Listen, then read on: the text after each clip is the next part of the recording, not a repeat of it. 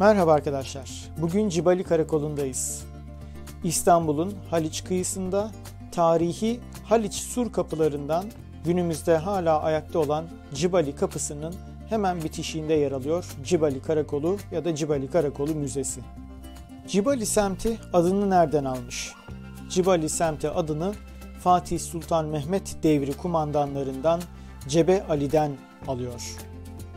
Cebe Ali'nin türbesi de yine müzenin hemen giriş katında özel bir odada ziyaret edilebiliyor.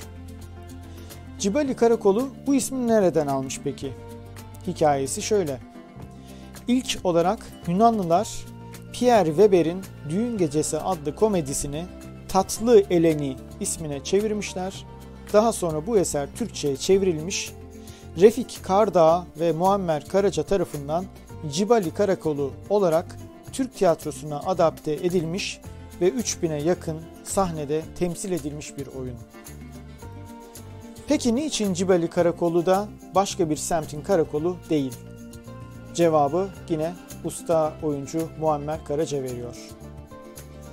Emniyetten Şehir Tiyatroları Müdürlüğü'ne atanmış olan Orhan Hançerlioğlu ile Raşit Rıza bir gün tiyatroda münakaşaya başlamışlar.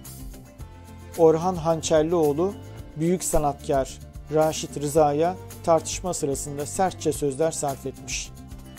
Bunun üzerine Raşit Rıza sinirlenerek bana bak kendine gel burası Cibali Karakolu değil demiş.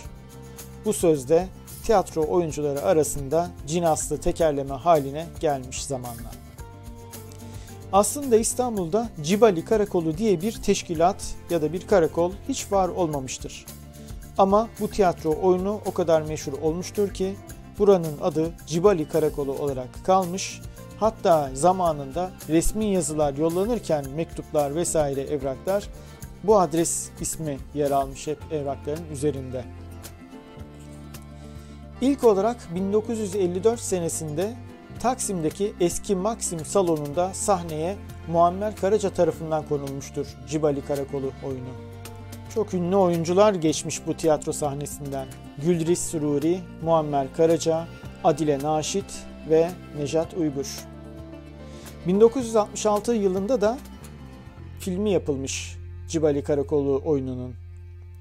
Oyunun asıl konusu hafif meşrep bir kadınla ona aşık olan bir adam arasında geçen olaylardır aslında. Ama Türkiye uyarlamasında bir emniyet amiri üzerinden oynanır ve yer yer Türk Polis Teşkilatı'nın acı tatlı yönleri eleştirilir. Bu üç perdelik komedide komiser Cafer'e ilk hayat veren Muammer Karaca'dır. Günümüzde bu kadar bilinir olması da usta oyuncu Nejat Uygur'un can verdiği aynı karakter. Yani Cafer Kıskıvrak, namı değer kemik kıran Cafer başkomiserdir.